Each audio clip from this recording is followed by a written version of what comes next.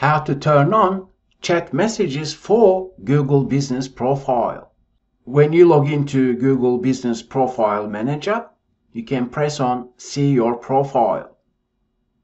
Then it will take you to Google Search if you're using, let's say, Chrome. Or if you're using Google Maps app on your phone, same process should be followed to turn on chat. Chats are located under messages. And here you can control the chat option.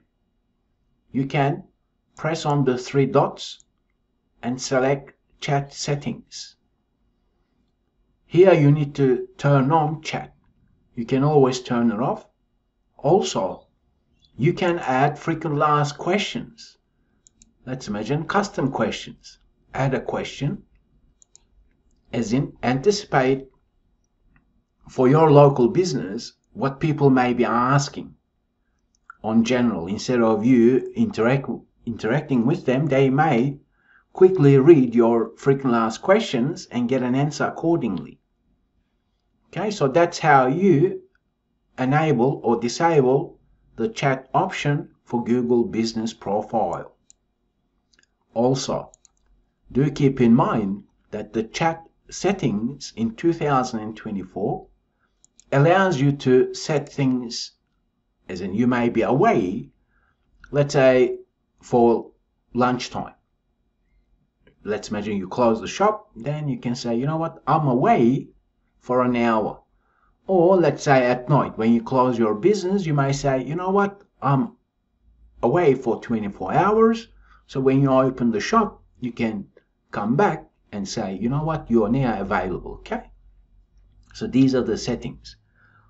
While here, I'm going to show you the, the option for the mobile as well. Let's imagine you're on the go. Let's imagine um, you have a mobile based business is a hybrid business, service-based business.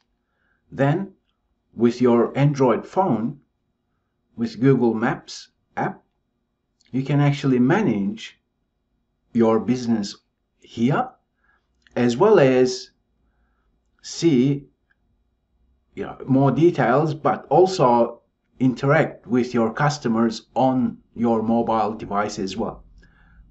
Also, when you okay, where are we?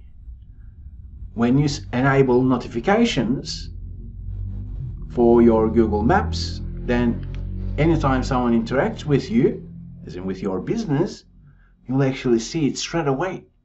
So therefore, the engagement is quicker, allowing you to you know, provide a better customer service experience.